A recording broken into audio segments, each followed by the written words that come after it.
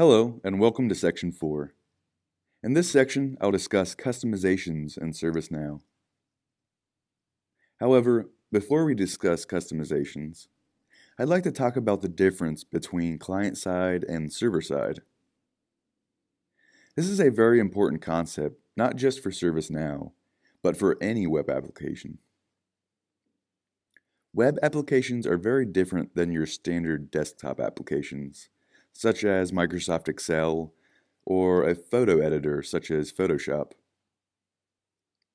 Desktop applications store the application data, such as a spreadsheet or photo, locally on your computer's hard drive and are processed using your computer's CPU, as opposed to web applications where the data and processing happen in a data center.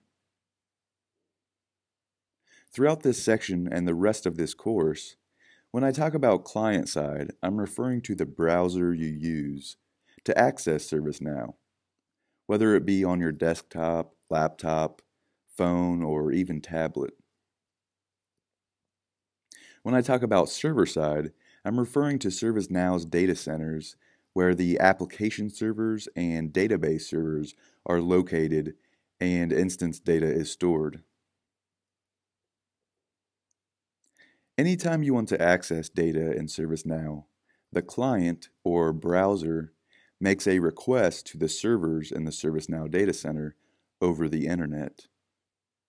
The application server receives the request and communicates to the database server where the data is stored. Once the application server receives the data from the database, the server will package it up in a response and send it back to your browser via the internet. Your browser then processes this data and renders it on the screen. Now let's take a look at an example. Say we are viewing a single incident record. The client side has limited access to instance data. So what does this mean? Well, for example, because we requested information about a specific incident, the server sends us a response with only the data related to that incident. If we wanted to view or access more instance data, such as another incident, a request and response to and from the servers would be required. That's what I mean when I say the client side has limited access to instance data. The ServiceNow data centers, or server side, is very powerful but requires network activity for the transfer of data. This naturally takes a bit of time to travel over the internet.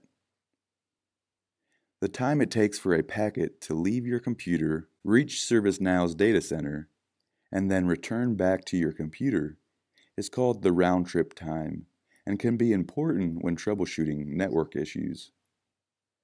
Keep in mind that no matter how fast your internet is, there will always be a slight delay due to the round trip time.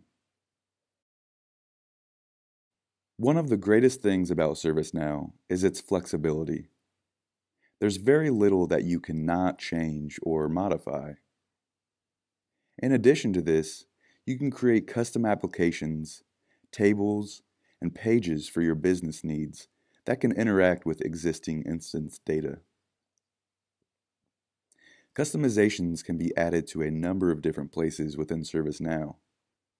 It can be tricky when first learning about all of these different types of customizations, so I'll go over each customization one at a time.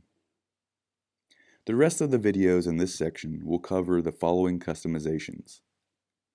Client scripts, business rules, script includes, UI actions, UI policies, and data policies.